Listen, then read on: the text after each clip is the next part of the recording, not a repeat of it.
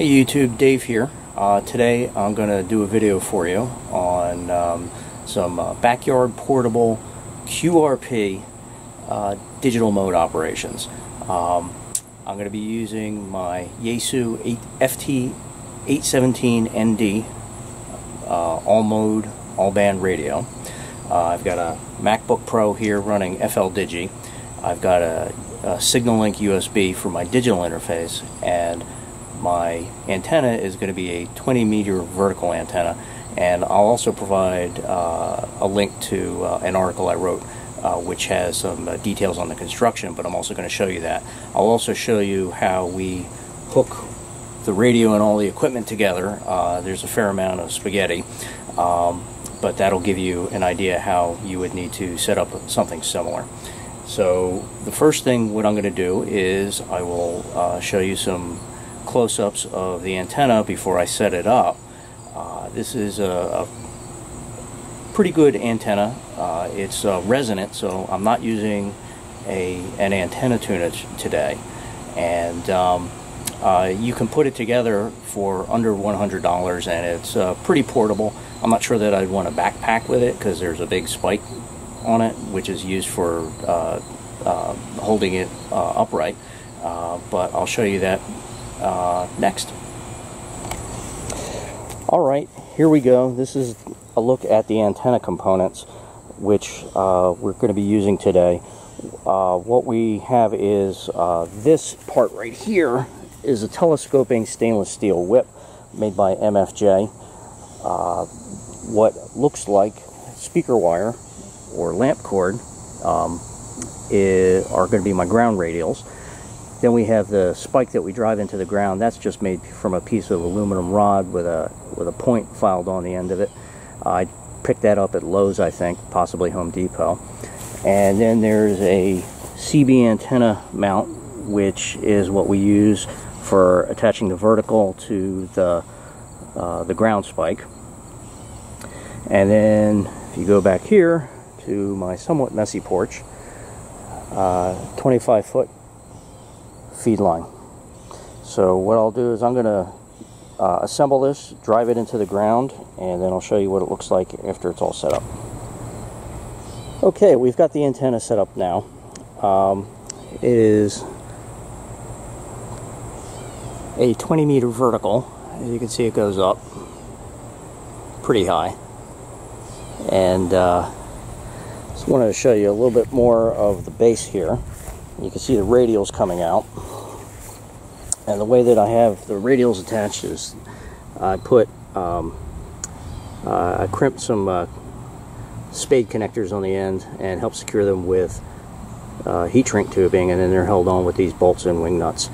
So I'm using six radials. You could use less, you could use more. It all, it all depends on how much you want to use. One thing I found is you do want to drive this in pretty good uh, I needed to use a hammer today because the earth is kind of hard. And um, uh, if you don't drive it in far enough, uh, it can get a bit tippy in the wind. But you can see also here there's the standard SO239 uh, barrel connector. Alright, I'm going to go show you now some of how the uh, radio equipment is hooked up. Okay, we have the 817 here. I'm using the front panel connector for the antenna because when you're working on battery power, it actually uses a little bit less uh, power, uh, less electricity. Uh, the SignaLink's on top. You can see I have some add-on um, legs, and uh, those are I got off of an eBay provider. So let's take a look at the various connections that we have. So aside from the antenna, the USB SignaLink on the back there's a 3.5 millimeter cable that goes from the speaker jack on the back to the speaker jack on the radio. That allows the SignaLink in the computer to hear it. We have from the radio interface on the um, uh, on the SignaLink, it goes into the data port on the back and then there's a USB cable that goes from the SignaLink over to the computer and then This other one is the USB CAT cable, which gives me rig control. Okay. Um, what we're going to do now is go over how we have Fldigi configured um, for rig control, the sound card, and uh, can also start with the operator. The operator is just where you put your information in and stuff like your call sign, your location, your grid square, and your antenna. For the rig, I'm using Hamlib, and uh, there's an entry here for the 817. The device is this right here. And uh, one thing you need to do is you need to make sure that you have the baud rate set correctly. And with my radio, it's set at 4800 baud. Audio, we're using the USB audio codec because we're using a SignaLink USB. And then after you have all these configured, you hit save and close. So again, uh, important things are your operator, the rig, and there are several different options here, but uh, if Hamlib is available for your radio, I do recommend it. Uh, it seems to work quite well. And then audio, of course. So uh, since I'm using a SignaLink USB, it's the USB audio codec for both capture and playback. So you hit save and you hit close. And we can see here that uh, we had somebody uh, somebody calling and we're receiving it.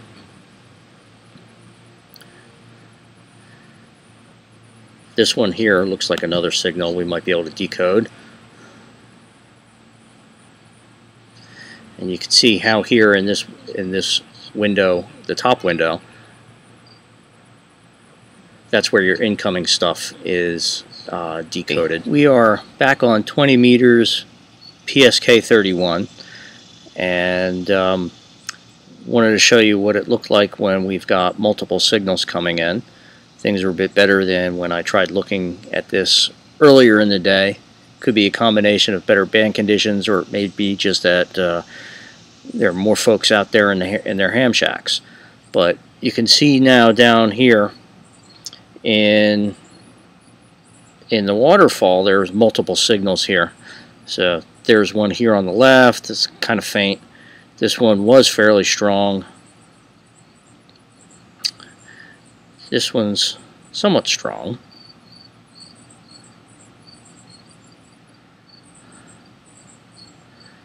But we've got some more coming in, it looks like. So for this one, for example,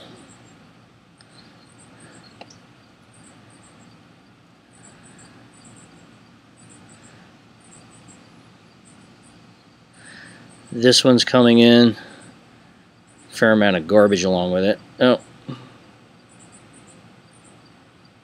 this one looks good.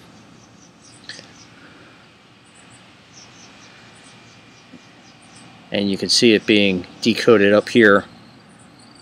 And we can see also this was from a VE4 DPR, which is uh, a Canadian guy.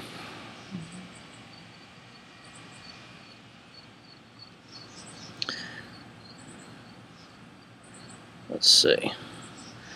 This one is very strong. This is what you like to see.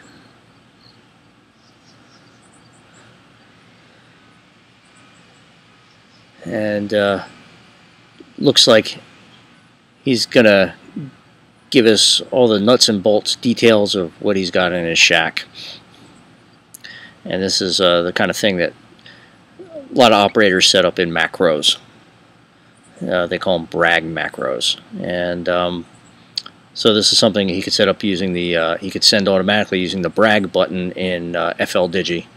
And he's also using a SignaLink USB like I am. Like about digital modes is that they're very uh, efficient and that you're not just depending upon the human ear to pick a signal out of the ether. So um, we're back a few minutes after um, I had called CQ last, and uh, I pulled up the web page for uh, PSK Reporter, and that shows both the uh, signals that I've received and uh, where my signal was received by somebody else. So if we just minimize Fldigi here for a minute, uh, right now we can see these are the signals that I've received, which obviously isn't a whole heck of a lot. But um, uh, looks like we, you know, there's there's me here near Philadelphia. Um, received the gentleman in Georgia, Tennessee, and if we zoom in a little bit, we can see where this other one is. And he looks like he's in northern Mississippi. Right on the Mississippi-Tennessee line. Yep, Mississippi. You can see over here. Gives you that information. Zoom back out a little bit, and we can change over to a view for signal sent by me.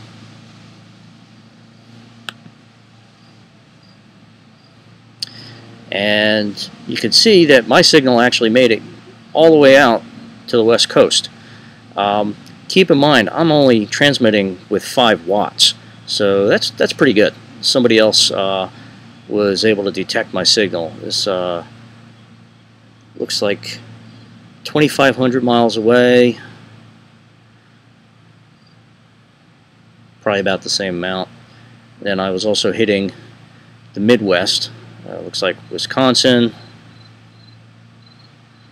and this looks like it's either Texas or Oklahoma.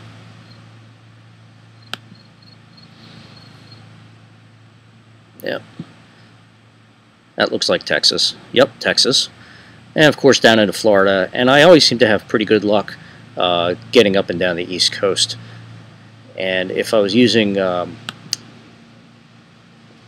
uh, other other digital modes, this was PSK 31, I might actually even be able to, to get further.